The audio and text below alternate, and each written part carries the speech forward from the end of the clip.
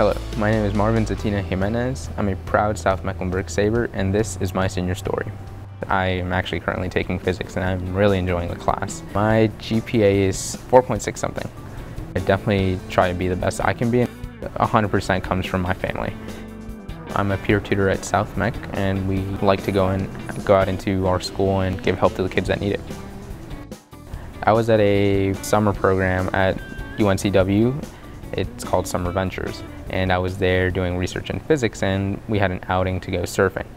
And while I was surfing, I had a spinal stroke, which basically meant uh, the blood was cut off to my spinal cord, and for me specifically, I got paralyzed waist down. Went to rehab in Atlanta at Shepherd Center and spent seven weeks there, and I can still think for myself and do everything independently, even if my legs wouldn't ever move which thankfully now they do.